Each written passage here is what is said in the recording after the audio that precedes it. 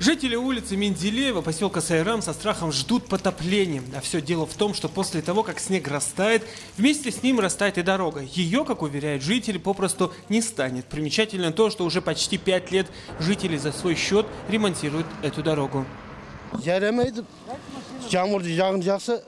Сначала мы думали один раз сделаем дорогу, потом власти нам помогут. Прошло пять лет, они даже не знают, где эта улица.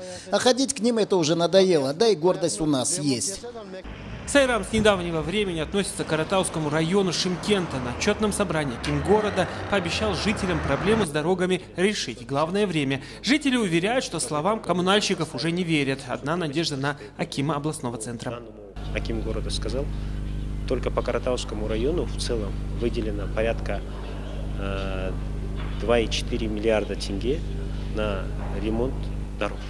Э, Там э, в основном э, там ремонт не делается именно в дороге областного значения, но в этом году, насколько я знаю, уже на проектно-сметные документации выделены средства.